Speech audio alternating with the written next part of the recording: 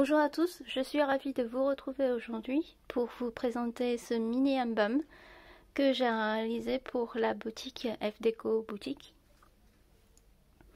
Donc pour ce faire, j'ai pris un armband de 4, ça se vend par lot de 4 et donc j'ai juste pris deux pour la, pour la couverture devant et derrière. Les deux autres, j'avais déjà fait un autre projet, vous pouvez trouver sur la page Facebook de la boutique. Et donc ici, euh, donc bande. J'ai joué ensuite avec de la peinture, donc j'ai tout simplement sorti des peintures euh, Shabby Velour Lavender. Encore une autre Shabby Velour Vintage Blue. Et enfin une Mousse Mint. Et donc j'ai étalé et puis j'ai mélangé euh, j'ai pris comme je veux en fait, et, c'est complètement par hasard. Et à la fin, j'ai juste tapoté légèrement ma spatule sur la surface pour que ça rende euh, cette texture-là.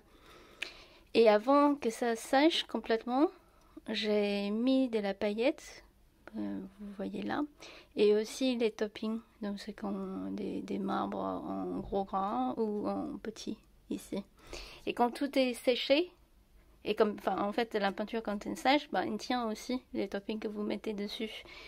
Et à la fin, j'ai tout simplement utilisé, j'ai mis mon doigt avec du gesso et j'ai frotté par ici pour rendre, pour que les, textures ça sent un peu plus, tout simplement.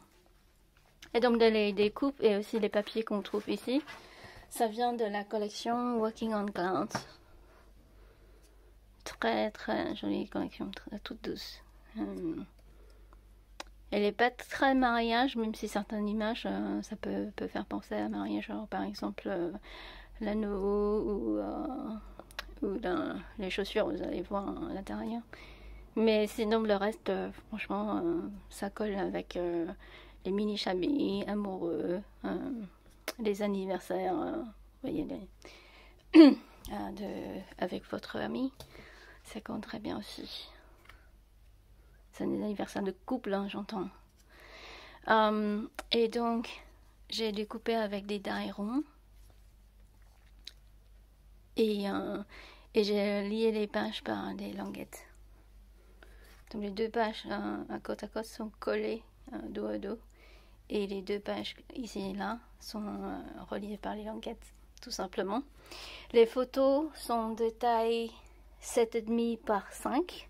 Donc vous, vous prenez euh, la photo standard, vous imprimez quatre petites photos par-dessus, vous découpez et ça donne cette taille-là. Donc comme d'habitude, les die ne sont pas collés complètement, donc ça permet de glisser les photos en dessous. Et euh, j'ai aussi mis du gesso et aussi la peinture, les, euh, les velours principalement sur les pages pour rappeler la, couverture. Et comme l'album est assez petit, je n'ai pas envie d'ajouter encore des pochettes, des ouvertures ici. Donc il est, il est très plein. il n'y a même pas de volume à l'intérieur. Qu'est-ce qui se passe?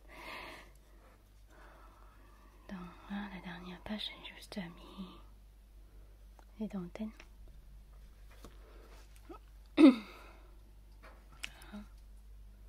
Je montre la couverture avec la remousse, on, voit bien.